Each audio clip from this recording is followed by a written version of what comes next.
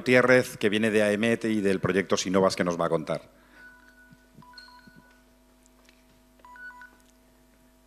Gracias, buenos días. Espero que esto siga encendido, Ana. Bien, yo vengo a hablaros de la experiencia de AEMET, de la Agencia Estatal de Meteorología en Ciencia Ciudadana. Nosotros tenemos la suerte de que hay en España una cantidad enorme de gente que a lo mejor no podéis ni imaginar que son entusiastas de la meteorología y están muy conectados a las redes. Ese era un potencial que AEMET quería aprovechar y de eso se trata este sistema del que voy a hablaros. Este señor que veis aquí podemos decir que fue el primer aficionado a la meteorología que sepamos.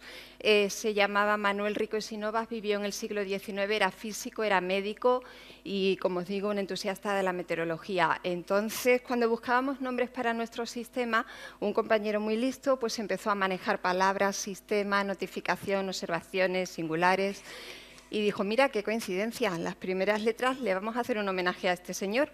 Así que lo llamamos SINOVA, Sistema de Notificación de Observaciones Atmosféricas Singulares. Pero a lo mejor os preguntáis, ¿qué es eso de observaciones singulares? Bueno, pues es la palabra que encontramos que mejor podía definir el tipo de fenómenos que queríamos que los ciudadanos nos contaran y nos reportaran, que son fenómenos que sean de ámbito local, poco frecuentes, de intensidad significativa y potencialmente con un impacto social importante. El ejemplo más claro, un tornado. Un tornado puede pasar a dos kilómetros de una estación meteorológica y no enterarnos. Un tornado, con suerte, en nuestro radar puede dejar algún indicio, alguna señal que dé indicios de que por ahí está pasando algo, pero no tendremos la certeza. Un tornado desde un satélite no lo vemos ni por casualidad. Así que nos estaba haciendo falta algo así. Esto se llama sinovasaemet.es, la página web, es el sistema eh, en el que cualquiera puede llegar y consultar la información que ya tenemos recopilada en los cuatro años de experiencia, o tres o cuatro años desde 2013 de experiencia que tenemos. Y mm, también puede añadir eh, reportes. Para añadir reportes sí que es necesario registrarse, para ver los que hay no. Eh, bien, tenemos unas preguntas frecuentes para quien tenga alguna duda de cómo manejarse por la web. Tenemos una guía de fenómenos para que quien tenga dudas sobre en qué consisten cada uno de los fenómenos que recogemos. Los fenómenos son tornado, vórtice de racha, torbanera, tuba, etcétera. Si no estáis familiarizados con esa jerga, pues os pueden parecer raros, pero en la guía de fenómenos vienen todos descritos y la mayoría están relacionados con tormentas fuertes, porque las tormentas son precisamente el fenómeno meteorológico que tiene las dimensiones en las que a veces se nos escapa lo que pasa. Eh, bien, eh, lo que quería destacar es que los fenómenos se puede hacer un filtro por tipo de fenómeno, se puede hacer un filtro por fecha, se puede hacer zoom. Esto está sobre Google Maps y está hecho con software libre por un compañero de la casa, un desarrollador fantástico que tenemos. Pero además los fenómenos están validados, es decir, no se trata solo de que cualquiera llegue y nos cuente una película, sino que después tenemos que estudiar nosotros si eso es verosímil y le damos una fiabilidad. Fiabilidad baja, media, alta, y en algún caso muy raro nos quedamos en que es imposible de validar. Y en algún caso que vemos que es completamente inverosímil o que no cumple los requisitos, pues entonces lo eliminamos del sistema. Bien, este es un ejemplo. Eh, un tornado que hubo el día 1 de diciembre en Palos de la Frontera. Eh, ese tornado os lo recomiendo, es muy curioso, seguramente es el tornado más fotografiado de España porque ocurrió en pleno día, ocurrió en una zona bastante poblada y entonces causó destrozos y tal. Hay vídeos curiosísimos, ponen un poco los pelos de punta, de verdad que vale la pena verlo. Aquí pues cualquier usuario introduce la información, eh, también tenemos eh, posibilidad de introducir enlaces, de introducir PDFs, los enlaces están en YouTube los vídeos. Eh, también tenemos, esto es una vista aérea de la zona con Google Maps, esto es eh, los comentarios que cualquier otro usuario también puede introducir, comentarios, fotografías, enlaces y documentos en PDF este usuario, este comentario a mí me, conmueve un poco porque el hombre nos dice, lo viví en primera persona y a muy pocos metros, el sonido era aterrador, no tiene nada que ver con verlo en televisión. Y es em, la emoción que, tiene enfrentarse a un fenómeno de estos. Perdonadme.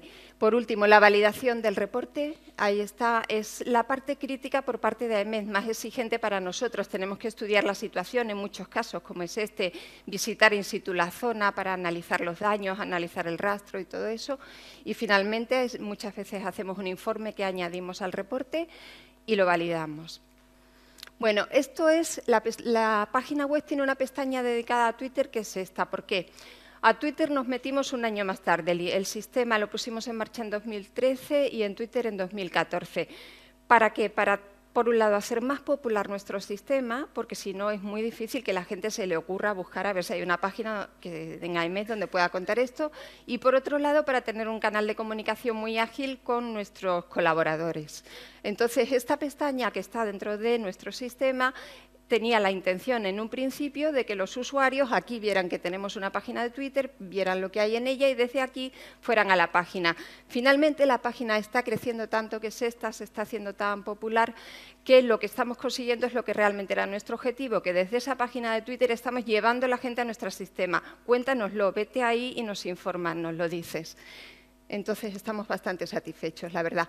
Estas son las tripas del sistema, no me entro en detalle, solo deciros que somos tres personas, ninguno tiene dedicación completa a esto, como todas las cosas, como el Twitter y como todo se hace además de, pero mm, tenemos un sistema para gobernar por dentro toda esa aplicación, para administrarla y para gestionarla. Somos tres. Tenemos una cuenta de correo que también es un canal de comunicación con nuestros usuarios que se llama sinovas.emet.es algunos resultados, no me voy a entretener mucho. Ya estamos consiguiendo el 50% perdón, de los reportes ahora mismo ya lo están metiendo ciudadanos, el 42% lo estamos metiendo personal de AEMET, pero está creciendo el número de ciudadanos, que es de lo que se trata. El resto son asociaciones de aficionados que colaboran con nosotros.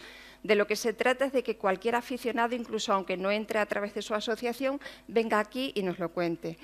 Estamos muy contentos también con la ah, calidad de los reportes que introducen. Ya veis que casi el 80% tienen una validez, una fiabilidad alta, es decir, son reportes que nos creemos, que son completamente fiables y estamos muy contentos con eso.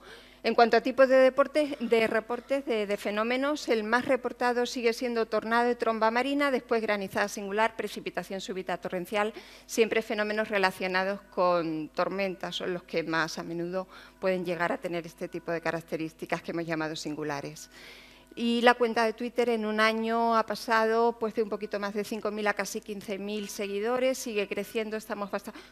Vale, gracias, qué susto. Bueno, esta era la última. Es solamente comentaros que todo esto está inspirado en este concepto ciencia por y para la sociedad de la Unión Europea y eh, hay más iniciativas en esta línea. Esta diapositiva es de mi compañera Ana, que está aquí, Ana Casals, y en la cafetería os podrá contar más. Tenemos un glosario visual en desarrollo, tenemos un proyecto de colaboración con colegios en desarrollo, tenemos ya operativo Open Data para poner nuestros datos a disposición de ciudadanos, de empresas y de desarrolladores que quieran utilizarlos. Tenemos Arcimis, un archivo de información científica, y todo lo vais a encontrar en nuestra página web, ames.es. Muchísimas gracias. Me iba a dar un infarto ya.